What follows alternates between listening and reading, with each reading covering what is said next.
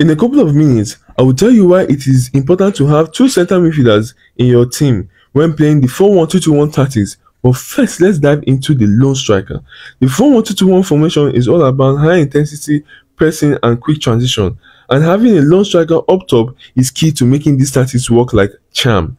Here is why. Firstly, having a lone striker allows for better penetration and fluidity in your attack. With only one player leading the line, it creates space for your attacking midfielders and wingers to make those killer runs into the box.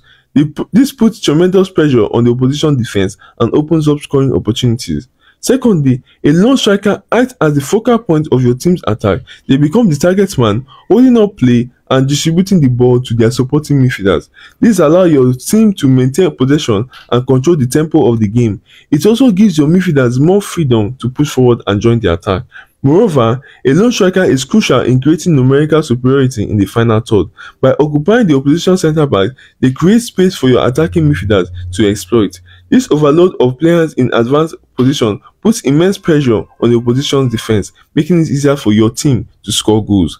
Lastly, having a lone striker enhances your team's counter-pressing ability. When you lose possession, your lone striker becomes the first line of defense, immediately pressuring the opposition defenders and forcing them into making mistakes. This quick transition from attack to defense is what gegenpressing is all about.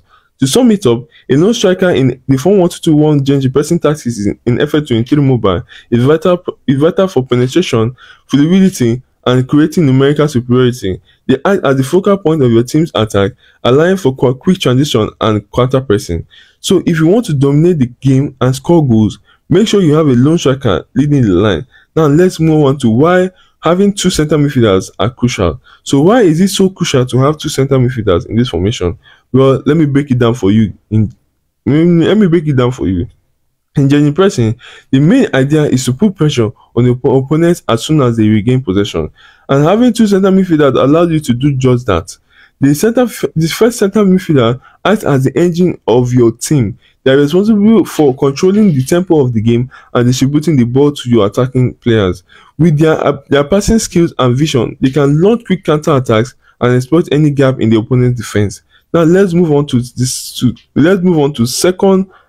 Now let's move on to the second center midfielder. This player is more defensively oriented. They provide cover for your defense when your fullbacks push forward and join the attack. Their main role is to win back possession quickly and disrupt the opponent's build-up play. With their tackling and interception ability, they can, they can regain the ball high up the pitch they, they, and keep pressure on.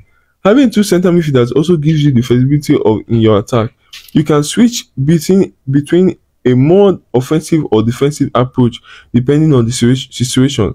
If you are facing a tougher opponent, you can drop one of your center midfielders deeper and create and creating a solid defensive shield in front of your backline. In addition, having two center midfielders allows for better support for your attacking players. They can provide passing op options and create numerical superiority in midfield, making it easier to break down stubborn defenses. So there you have it guys. The importance of having two center midfielders in the 4-1-2-1 gegenpressing tactics in FM23 mobile is all about control, pressure, and flexibility. Trust me, implementing, implementing this strategy will take your team to new heights.